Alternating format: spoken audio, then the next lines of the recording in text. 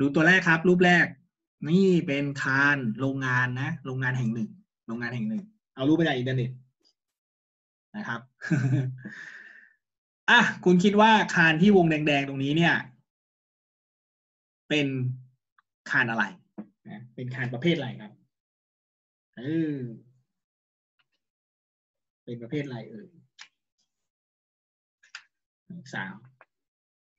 นักศึกษารุ่นใหม่ขี้อายนะไม่ค่อย ไม่ค่อยตอบคานประเภทอะไรครับ คิดว่าอ่าไหนลองตอบหน่อยคานประเภทอะไร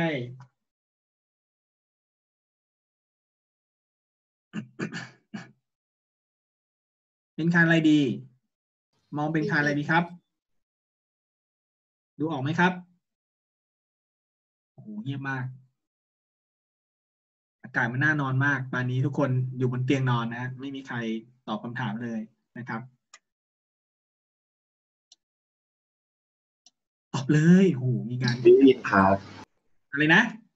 อะไรนะฮะบิวอินครับ built in โอเค เยี่ยมมากนะครับ เป็น built in beam นะครับ built in นะ ก็คือ fix นะครับ ถ้าเป็นโยธาเราชอบเรียก fix fix fix end นะครับนะก็คือเป็น fix end beam นะครับ ก็ ฟิกสองด้านครับก็เป็นฟิ fix น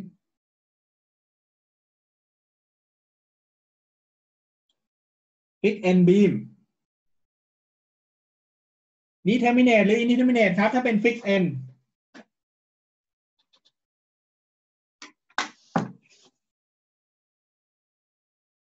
ถ้าเป็นฟิ fix นแล้วต้องเป็นเห็นแล้วฮะ indeterminate ค่ะ indeterminate นะครับอ่าเก่งมาก indeterminate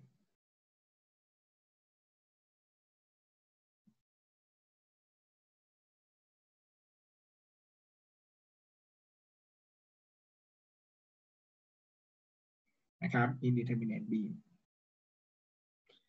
โอเค คราวนี้ข้อต่อมา อ่า นะครับ สะพานตัวนี้นะฮะเอาเฉพาะ part ที่วงวงแดงๆเอาเฉพาะ part วงวงแดงๆนะฮะ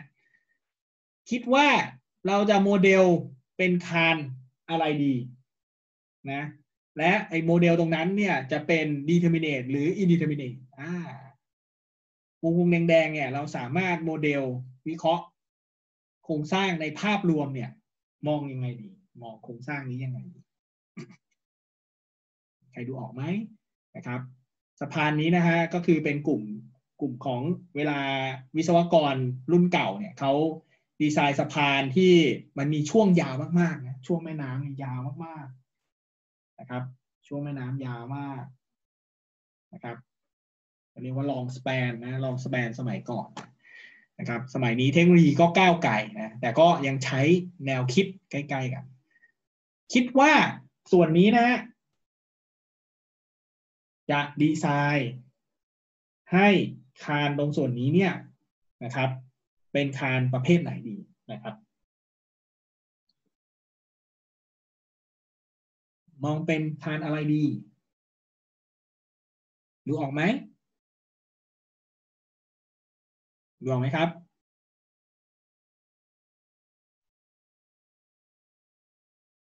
ดูออกไหมครับ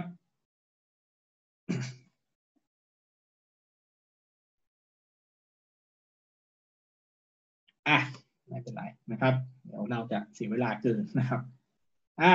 ตรงนี้นะครับนะปกติคานที่มันยื่นยาวๆแบบนี้นะนะครับ โดยมากเขาโมเดลนี้ครับ นี่เขาจะโมเดลเป็นอย่งนี้เห็นไหมคือเราต้องการความยาวช่วงมากๆนะครับเราเราต้องการความยาวช่วงให้มากหน่อยนะปกติถ้าสะพานทั่วๆไป เวลาเราเราข้ามสะพานตามเวลาเรากลับบ้านนะ นะครับ หรือว่าขับรถตรงผ่านทางหลวงต่างๆนะครับเจอร่องแม่น้ำลำธารนะครับ มีสะพานนะก็สะพานโดยชั่วทั่วไปก็จะเป็น simple beam แบบนี้อ่าเป็น simple beam แบบนี้อ่าซึ่งความยาวช่วงเนี่ยกรณีที่เป็น simple beam ธรรมดาเนี่ยนะครับเขาก็อาจจะประมาณสักยี่สิบนะถึงสี่สิบเมตรไม่เกินนี้สี่สิบเมตรนี่เรียกว่าโอ้โหนะต้องใช้ box girder ใช้ใช้คาน I-beam เนี่ยที่เป็นทีสเตตัวใหญ่ เริ่มเทิ่มเลยนะเพราะว่าช่วง 40 เมตรนะครับโดยทั่วไปก็ประมาณ5เมตร 10 เมตรอะไรแถวนี้นะครับ ก็เป็น simple beam ก็เรียกว่าอยู่ในช่วงของการประหยัดที่ออกแบบโดย simple beam แต่ถ้าหากความยาวช่วงนี้เนี่ยซักเป็นร้อยเมตรร้อยเมตรนะครับนะหกตั้งแต่40เมตรขึ้น40เมตรขึ้นไปนะครับ ก็จะเข้าสู่กลุ่มของพวกที่เป็น long span นะครับ long span นะเป็นพวก long span นะหรือต่อให้เป็นโครงหลังคาก็ตาม โครงหลังคานะครับ ถ้า 40 เมตรขึ้นไปก็ก็ long span นะ long span นะครับ จริงๆก็ตั้งแต่สัก 30 เมตรก็เรียกว่า long แล้วนะครับ 20 เมตรก็เรียกว่าโอ้ช่วงกว้างพอสมควรแล้วนะครับนี้ถ้าสมมติว่าเราอยากจะดีไซน์นะนะครับ ให้มันความยาวช่วงมากๆนะเราอาจจะทำส่วน approach ตรงนี้นะครับ ผมเซว่าส่วน approach ตรงนี้ผมอาจจะ 30 เมตร ครับ ผมอาจจะยื่นตรงนี้ไปสัก10เมตร ผมทำอย่างเดียวกันสองข้างนะครับทำอย่างเดียวกัน ตรงนี้30เมตร ตรงนี้10เมตร แล้วตรงนี้ผมก็ทำเป็นซิมเบิลบีมอีกอันหนึ่งมาแปะหัวมันนะครับ ตรงนี้ผมอาจจะทำได้ถึง40เมตรตามที่บอก ปรากฏว่าผมได้ได้ความยาวช่วงโดยรวมเท่าไหร่ครับ 60 เมตรเห็นไหมครับนะเพราะฉะนั้นนี่ก็คือลักษณะของการโมเดลสะพานสมัยเก่านะครับ ก็คือมีช่วงของแองเกอร์นะ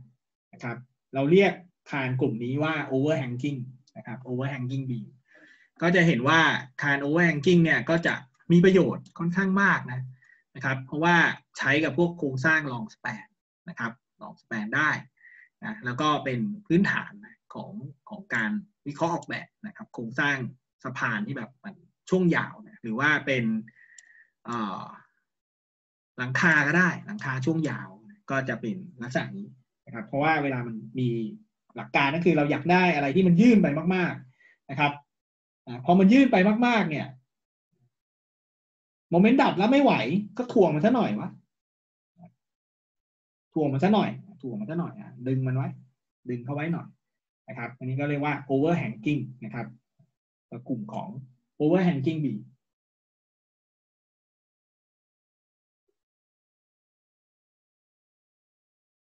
นะครับ เป็น overhanging beam พอเป็น overhanging beam ก็เป็น determinate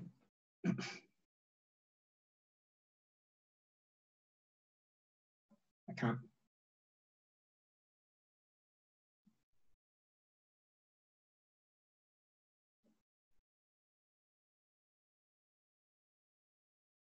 นะก็เป็น determinate beam นะ วิเคราะห์ได้ด้วยสมการสมดุลเพียงอย่างเดียวนะครับ ทีนี้มาขยับมาที่ตัวนี้นะครับ คานตัวนี้เนี่ยนะลืมวงให้นะ ครับคานตัวนี้เป็นชนิดอะไรครับ ใกล้ตัวหน่อย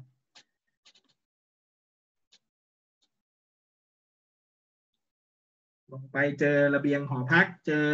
หลังคานะครับนะอันนี้พวกกันสาบตัวนี้เป็นคันยื่นปะครับอะไรนะฮะคันยื่นปะครับคานยื่นนะครับ ตัวนี้ก็จะเป็นคานทิลิเวอร์นะครับ ตัวนี้ก็จะเข้าใจได้ง่ายๆนะตัวนี้เป็นคานยื่น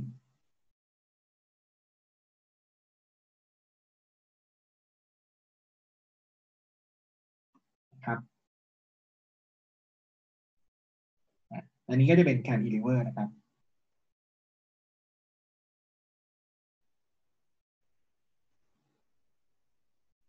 คานยื่นก็เป็น determinate ค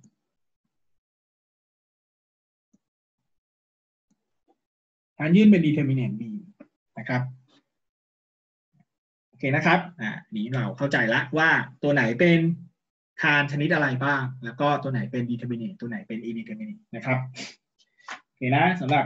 นะอันนี้นะครับนะจะพอเข้าใจนะครับ เอาละคราวนี้เราไปต่อนะครับ อีกข้อหนึ่ง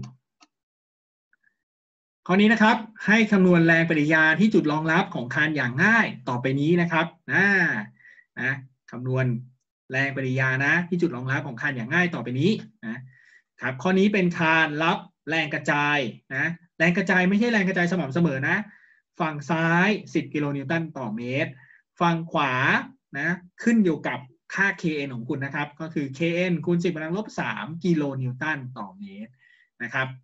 อ่าข้อนี้ นะมีคลิปวิดีโอนะมีคลิปวิดีโอที่พี่เขาทำไว้แล้วนะ อันนี้ผมเอาโจทย์ที่